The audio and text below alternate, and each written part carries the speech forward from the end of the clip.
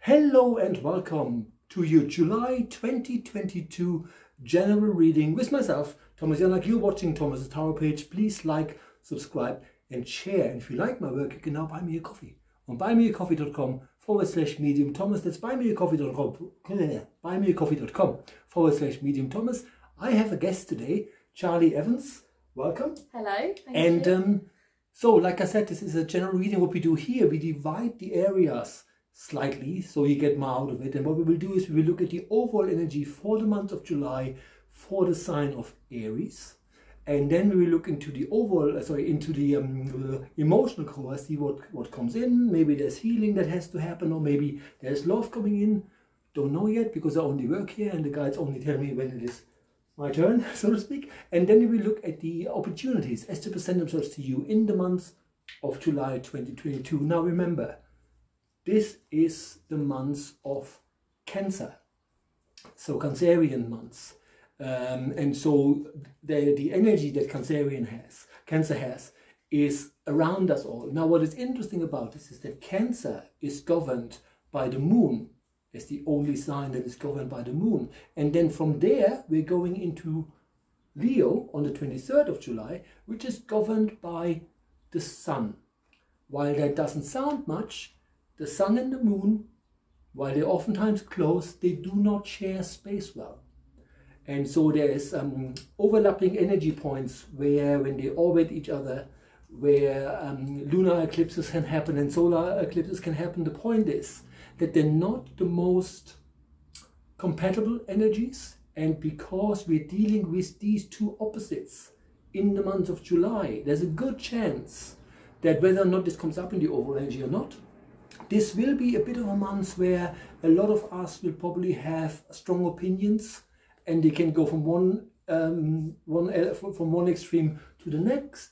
Blame it on the energy because literally that's what happens when you have Cancer uh, energy going into into Leo. But because we're going into Leo on the July on July the twenty third, very likely the energy will not be super bad or super fictitious, but pay attention around the time when we're changing from Cancerians to to uh, to Leo. Anyway, speaking of star signs, this is the overall energy for the month of July 2022 for the sign of Aries.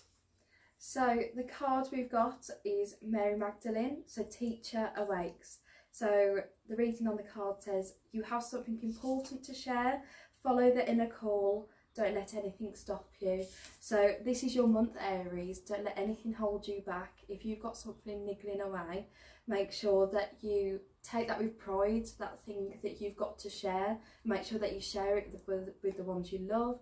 Make sure that if you are in a leadership position that you're showing your strengths, showing what you really can do.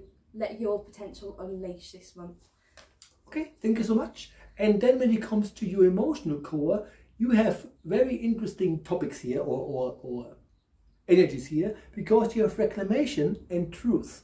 So Aries is a star sign that by default has some issues actually reaching out because you're the first star sign. So normally there's nobody else that you can ask for help. So sometimes Aries by default have issues actually reaching out. But when it comes to reclamation, which isn't about reaching out, it's about getting whatever it is you give to others because Aries is a very giving sign and oftentimes you're just pissed off because nobody ever repays it.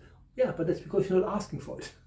so when it has when it comes to reclamation, what the, what the guides are asking you in the month of July 2022 is to not just reclaim but also show people that you have boundaries. Really, really important to understand that. If you're constantly giving, people get used to it. That doesn't make them bad people, it makes them opportunists, right? And sometimes people need to be told when enough is enough. Um, and because you have truth as the outgoing energy, this will show you, sounds a bit harsh, not meant that way, but this will show you who your true friends are, if that makes sense, and who you can trust and all that kind of stuff interestingly enough, because this is your emotional core, I'm at getting fake all about whether or not there's love coming in or whether or not there's actually healing happening for Aries. What this means is that in order for you to get what you deserve, which is about your emotions, is about paying attention to who is giving you what you give them? Where are you in the scheme of things? And when you then reclaim your space, just remember that a lot of people have no idea that they're not giving you what you give them because you never asked for it. Okay? That was the um, that was the emotional core for the month of July 2022 for the sign of Aries. Now, lastly, we go into the opportunities um, as to present themselves to you in the month of July 2022.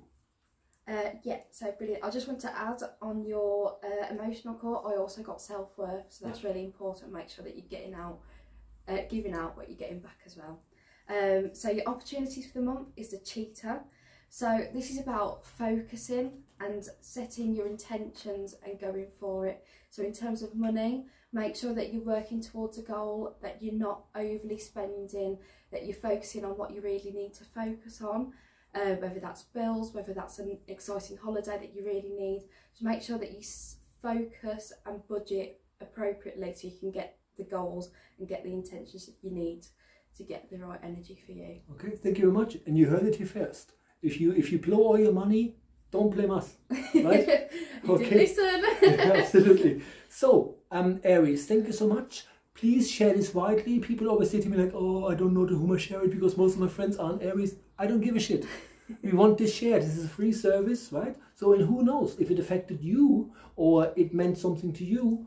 You don't know who, who, who it can reach. Please, please, please like, subscribe, and share. It helps us grow the channel. So don't give me these stories. Everybody just texted me, oh yeah, I don't know, right? I don't care.